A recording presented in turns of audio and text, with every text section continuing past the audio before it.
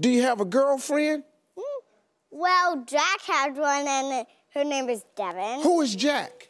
Um, one of my brothers. One of your brothers.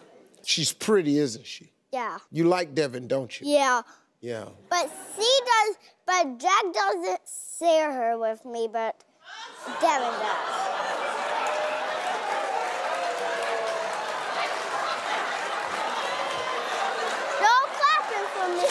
Jack, Jack, Jack, Jack doesn't share her with me.